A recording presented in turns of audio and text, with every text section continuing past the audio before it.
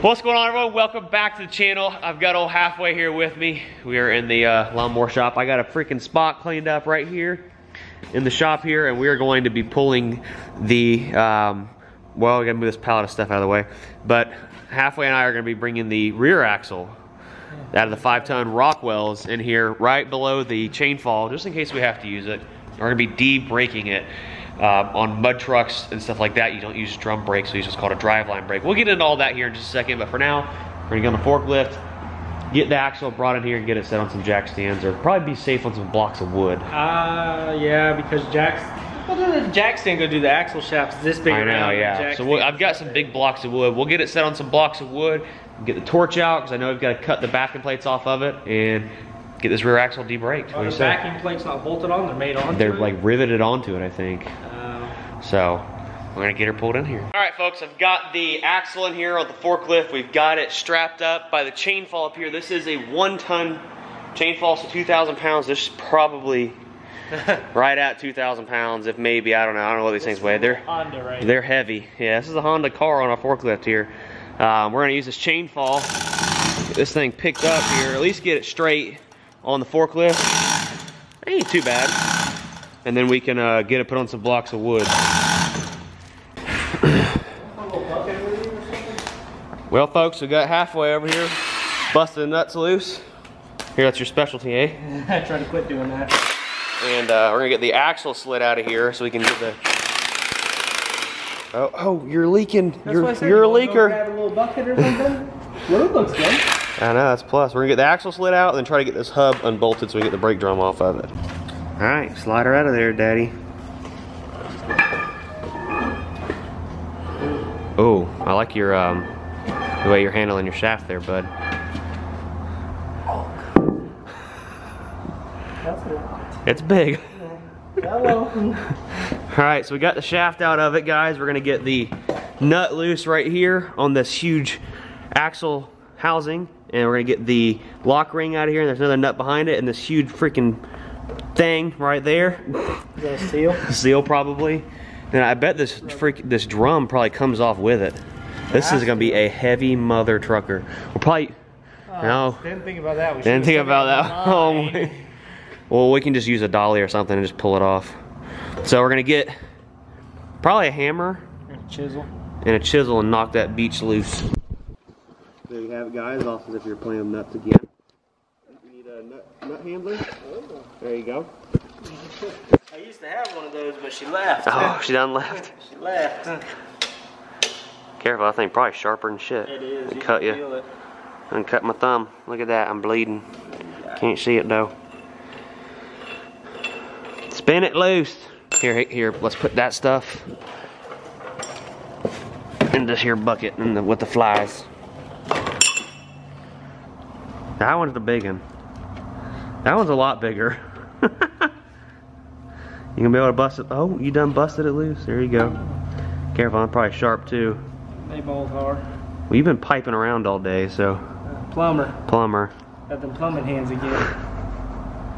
By the way, you got your um your your snake here with you? Stir machine?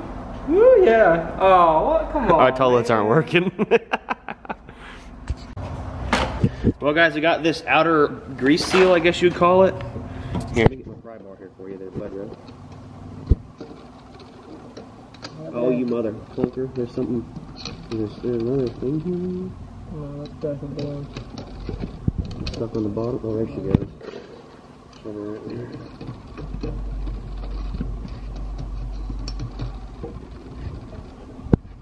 Over down in there. No wonder them things are so freaking expensive. This thing looks good in there. Good deal. Alright, well I guess we'll, we'll see if we can pry that big bastard off of Alright, there. move all this stuff. Put a hole in the floor. I don't know where to start. I have to pull it. Oh, well that's not too bad then. Careful, don't hurt yourself. Mother's heavy. We have to. Maybe we can shove a um, a jack under it, Austin. Might have to. Because it's going to try to bind up for Alright. the floor. Guys, we got the drum pulled off of it with the jack there. Thing's dumb heavy.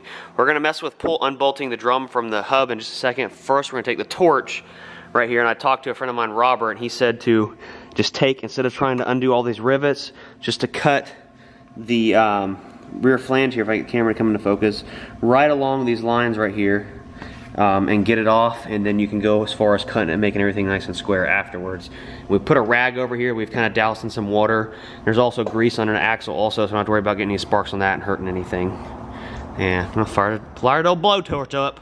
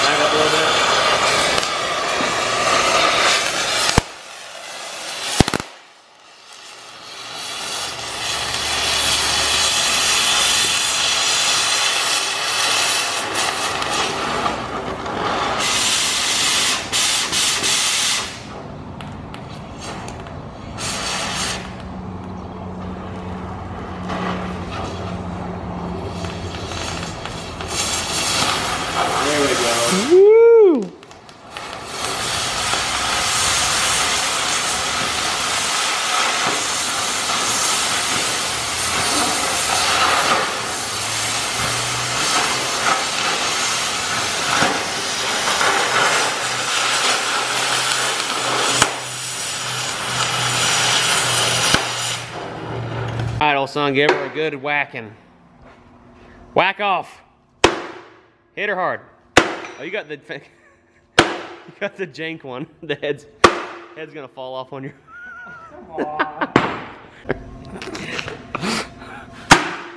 Whack it.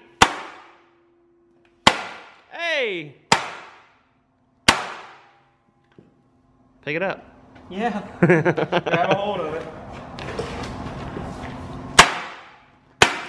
There we go.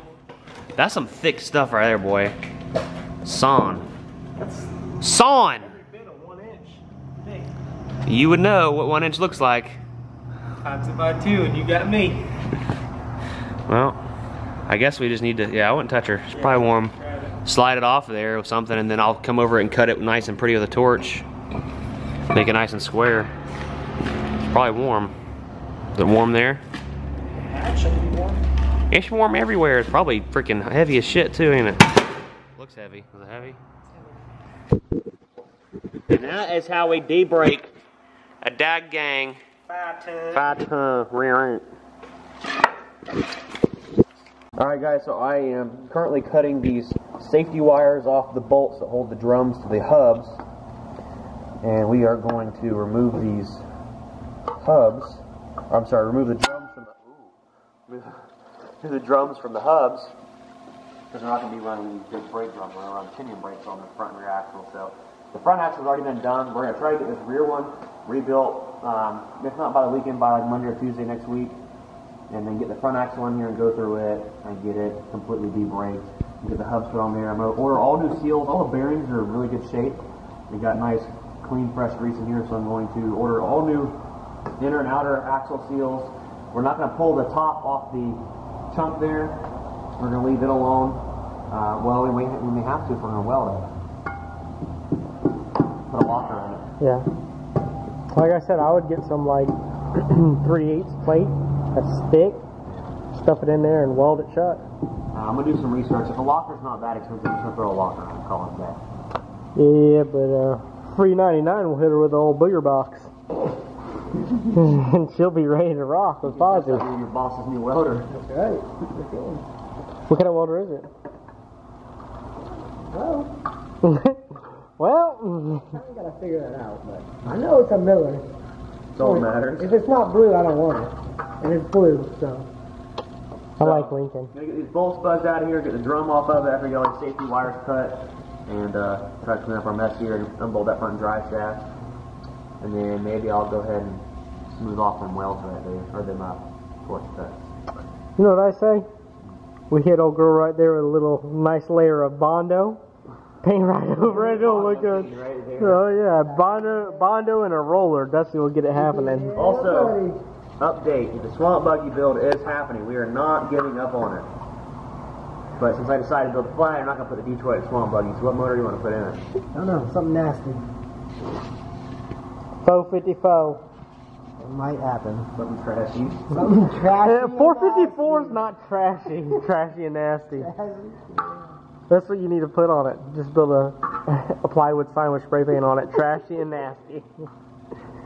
Put some shag carpet on the top. Wipe your feet, keep them clean. The grass carpet. Like, Oh, that would be sweet. Outdoor carpet.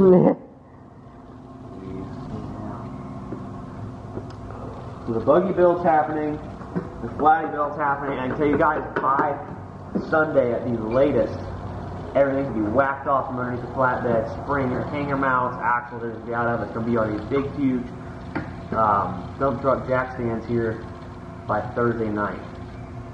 Yeah, tomorrow we're going to get them. Yep. Tomorrow's Wednesday. So Thursday night's video, you will see Flatty on freaking jack stand. If you guys want to see the behind the scenes stuff before YouTube sees it, you can go to my Instagram or probably Halfway's Instagram because he's wanting to be a part of this build and going to hang around. So you can check me out at Bruce underscore After Hours and Halfway at Halfway Performance. Halfway performance. That's easy enough. All right, enough talking. Going to get these things out of here and then get the impact buzzing loose.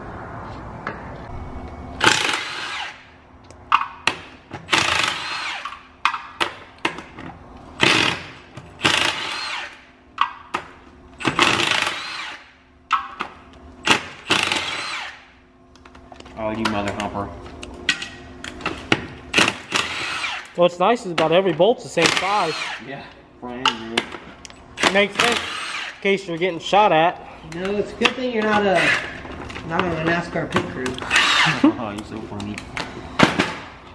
Also, guys, over here at uh, the Bruce Wilson YouTube channel and all my associates here, we build our own stuff. We don't send it off to get built. So, just something to think about there, folks. Now, where's the big hand hammer at? Dusty hat. Oh, there she is. On tire hammer. See if we can give her a whack.